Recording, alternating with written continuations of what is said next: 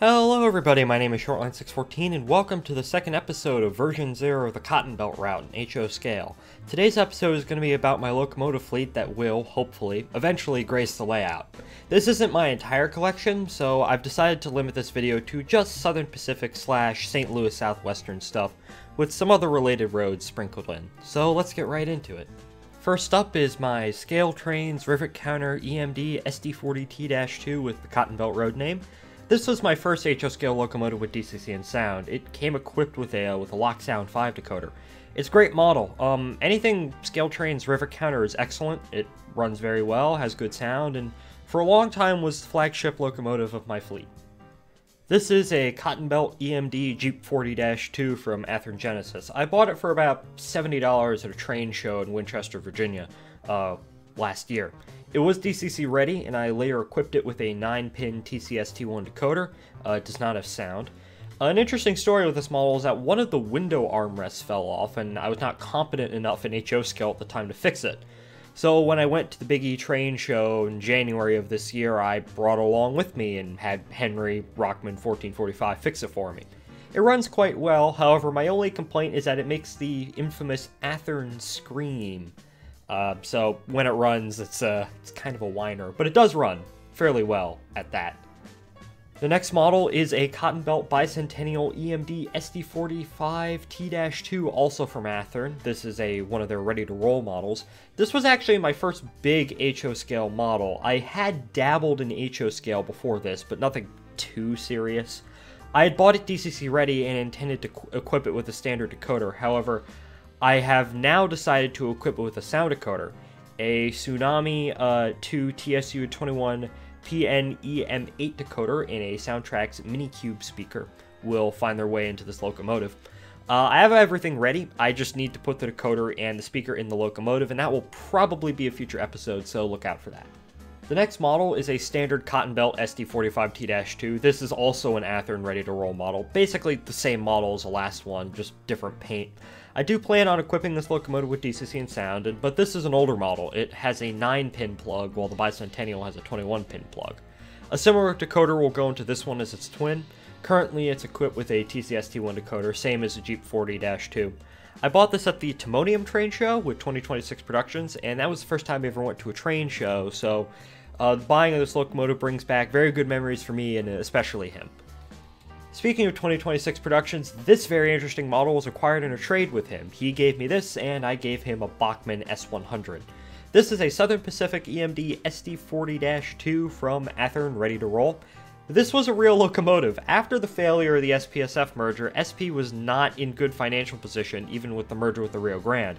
So one of the things they cut was the paint budget. That resulted in SP using extremely cheap paint that would peel off. This was one of the more extreme results. Uh, it was nicknamed the SP's Desert Storm Unit after Union Pacific's much more official Desert Storm unit. It is DCC ready, and I plan on equipping it with a Blunami decoder if I can ever get my hands on one. This model was also acquired at the Timonium Train Show. This is a Southern Pacific EMD SD45, and it's an Athearn Blue Box model. Uh, as you can see, it's very crusty. It's missing some detail parts, but it does run.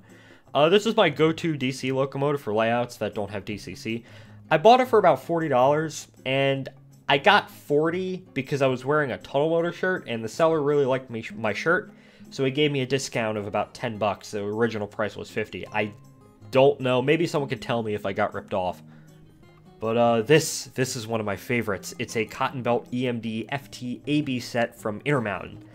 I can't remember what decoder it has. I think it's a Digitrax one, but it does have a very, I know it's a very simple two-function decoder. I bought this at the Big E train show for about $140, which was a great deal because the dealer had a uh, major discount for locomotives that didn't have DCC or were DCC ready. Uh, he thought it was DCC ready, but when I got back to Henry's house, I was staying in his house, I opened it up and it had DCC. Uh, the retail price was about $200, so I got $60 off for really no good reason. Um, I'm not complaining though. One of the grills on the A unit did fall off and I was unable to put it back on at the time. I tried using standard model glue, which came out horribly. So I ordered a new part, uh, but it came in gray, so I had to spray paint it black, and then use canopy glue to put it back on. It's not perfect, but it's only noticeable if you look super up close. It's not a fancy model, but I do love it all the same. Uh, and this is just a standard cotton belt EMD GP7 from Bachmann. Uh, I bought this during the last big meetup that I had. We all went to Star Hobby in Annapolis, and I bought this thing for about 65 bucks. It's very basic DCC, nothing fancy, and I wasn't really in the locomotive buying mood at the time, but I did remember this primarily to remember the meetup buy.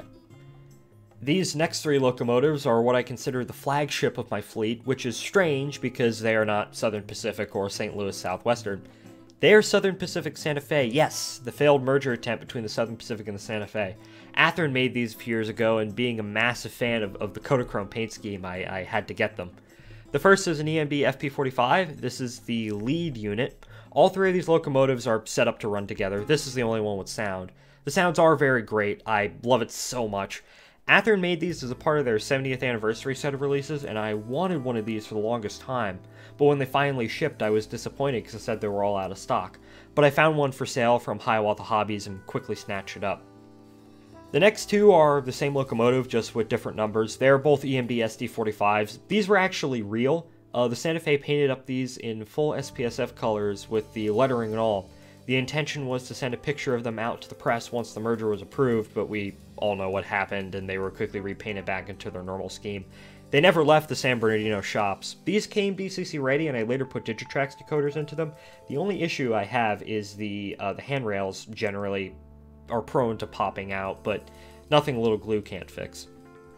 All these locomotives run great together. They are a personal favor of mine, and uh, eventually one day I might put sound in the SD45s, but I'm not too sure about that just yet. Anyways, that is my locomotive fleet. Hopefully one day, one day these will be running on a layout of my own. Um, but thanks everyone for watching, and I will see you in the next one. Goodbye.